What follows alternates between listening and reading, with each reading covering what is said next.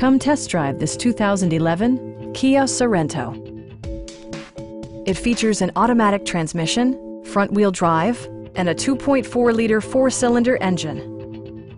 Top features include remote keyless entry, a trip computer, automatic temperature control, heated door mirrors, rear wipers, and cruise control.